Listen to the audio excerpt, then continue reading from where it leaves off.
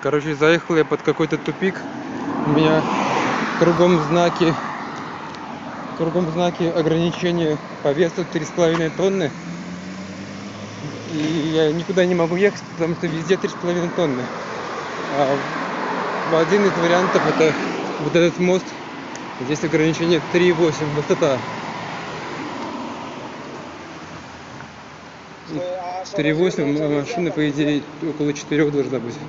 Я даже не знаю. Но это самый простой вариант, где можно было проехать. Потому что другие варианты я не знаю. Ну, там 3,5 тонны, там мосты, стакады. Я уже проехал пару знаков. В городе какая-то, короче, выставка, видимо, или что-то такое. Спортивные автомобили везде катаются хорошие, дорогие, или классические, или новые, Феррари всякие. Блин, ну я в такой жопе, короче. Бля, как же правда я выйду с такой, с такой ситуации. Не знаю, что бля. Заехал я, короче, под три с половиной тонны, везде три с половиной тонны, где-то кирпичи. Там в одном месте высота эстакады не позволяет. И, короче, не знаю, что сейчас делать, стою. Стою и офигеваю, короче. Куда мне дальше идти? Там, получается, 3,8 тонн высота в ту сторону. А там масса 3,5 тонны. Ограничение. Короче, вчера вчера я все-таки выбрался с этой ситуации. Я, наверное, два с половиной часа смотрел, вот стоял точнее, на, на том месте. Оббегал все, все окрестности, посмотреть, где там можно будет мне как-то выехать и развернуться, чтобы, чтобы выехать вообще на, на трассу, на автобан. Вот я уже не знал, чем это закончится все. Короче, был в шоке. Ну, не то, что в шоке, я, ну, мне было как-то сложновато, я не знал, куда, куда податься вообще. Вот, в конце концов, я там в навигаторе отключил настройки ограничения, там, убрал там 30-40 тонн, а поставил вес машины 3 тонны. И она меня повела уже по дороге. Я уже поехал под знак 3,5 тонны. Вот, и немножко сделал кругеля чтобы выехать на, на, на трассу. Но главное, что все решилось. Потом еще часа полтора проехал и стал вот на стоянку на 24 часа. Вот. Вечером я был, когда, уже стал, я был так рад, что закончился этот день и, рабочий. И так рад, что закончилась эта неделя, потому что неделя получилась вообще чумовая. Столько, вся, столько всякой фигни что на заправке меня не хотели рассчитывать. По, по карте не принимали карту, а хотели наличный кэш от меня. 700, 700 евро за заправку одного бака. Ну, короче, потом все-таки тоже там, наверное, час стоял. Потом все-таки мужик этот позвонил куда-то и разобрались, решили ситуацию. Потом пришлось остановиться на автохов за 10 евро на стоянку. Не знаю, так предполагаю, что вряд ли мне кто-то, если 10 евро заплатит за стоянку ночную. Ну, может быть, приложу к чекам, мало ли, пускай будет. Вот. Сегодня проснулся, спал я долго, вчера я при, приехал, по, поел, как-то лег, меня так вырубило. Вот спал сегодня до 12 часов. При том, что вчера, наверное, ну, лег 12, даже, может быть, раньше.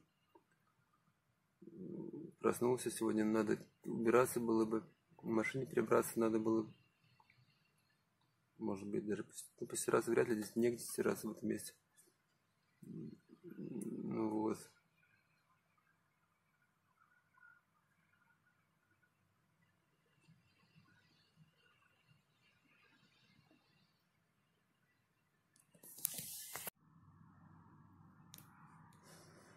Почему получилась такая ситуация?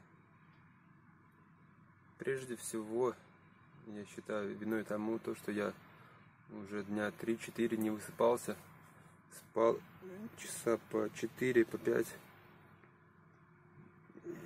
И состояние уже было такое, ну, то есть я не хотел спать, но оно было недостаточно ясное. И внутренняя такая усталость все-таки она присутствовала. Из-за этого нет, нет такой бдительности, нет такой ясности ума.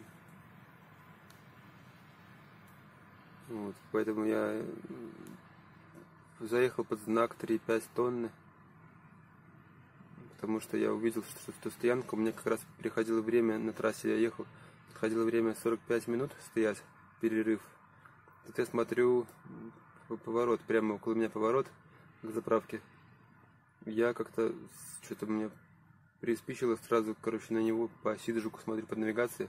А там, как правило, для, груз, для грузовых автомобилей указатели, ну, по крайней мере, я, я так думал. Смотрю заправка и съезд сразу. Беру, съезжаю на этот съезд, заезжаю. Там надо было пересечь еще по эстакаде пересекаю по стакате, смотрю, такая дорога узкая, подозрительная. Но знаков нигде не видел. Хотя, может быть, они были с самого начала, но я с самого начала, может быть, не заметил. Но я допускаю такой вариант. Смотрю, заправка. Ну, там на нее заехать нельзя, и остановиться негде. Проезжаю дальше. Я уже начинаю думать о том, как бы развернуться и отсюда выехать, потому что дороги узкие. И там я кое-как помещаюсь. Потом я уже решаю выезжать, обратно ехать. Тоже разворачиваюсь кое-как, минут 15-20 отдаю, чтобы развернуться. Задом там упираются какие-то провода. Э, люди там подходят, помогают, там берут какую-то лестницу, поднимают провода наверх, чтобы я задом смог сдать. Там уже тоже машины собираются с двух сторон. Но все-таки все-таки там ну, нормальные люди, там несколько человек вышло, помогло мне задом сдать. Э, жители там местные правдайте держали. Вот, я задом, короче, сдал, поехал обратно. Э, еду обратно тоже по, по тому же пути, по которому я заехал, я ну, никак не могу выехать, потому что там, там односторонний съезд с автобана. Я поехал в другую сторону, искать где-то выезд, и уже тоже не вижу, там везде 3,5 тонны, круги, везде куча развязок, куча 3,5 тонн, дороги тесные где-то я около ресторана, там стояночка. На этой стояночке все-таки получилось остановить. Ну, стал и давай искать в навигации. По навигации, как же вообще выехать отсюда. Навигация не давала результата. Я вышел, пошел ходить по, по разным направлениям, куда я могу, где какие, где какие развязки. Вот один вариант был под, под, под мостом проехать. Ну, он самый простой был, если проехать под мостом, то там сразу я практически выехал бы на автобан. Ну, мне тоже было рискованно, потому что там достаточно оживленное было движение. Если бы я стал под мостом, ну, стрёмно было не, не то, что я не проеду, а то, что я встану и перегражу движение. А если я ну, не буду вписываться по высоте, тогда надо будет сдавать задним ходом. А там сдавать задним ходом, если будет сзади куча машин стоять, это будет проблемно. Поэтому мне тоже вариант этот не очень нравился. И я тогда решил решил все-таки побегать еще по окружностям, смотреть, где, где куда приведут дороги. Потому что на навигации ну, сложно было понять, можно ли на этом перекрестке развернуться или нельзя. Ну, в конце концов, два с половиной часа, наверное, так подумал, походил, и потом уже, потом уже поехал, включив настройки в навигаторе. Ограничение 3 тонны, поехал под знаки. Вот. Так, короче, надо высыпаться хорошо при первой же возможности вечером. Вечером не сидеть в телефоне, не, там, не знаю.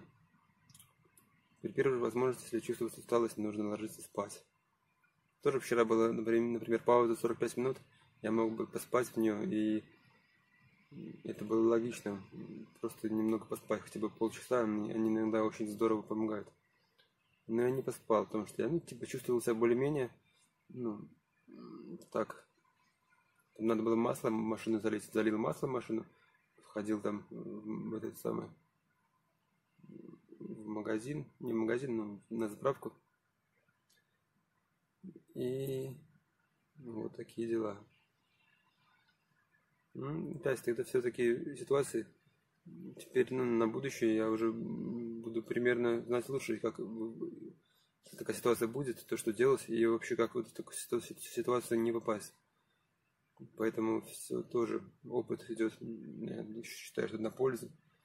Хотя так, хотя сложновато такой опыт.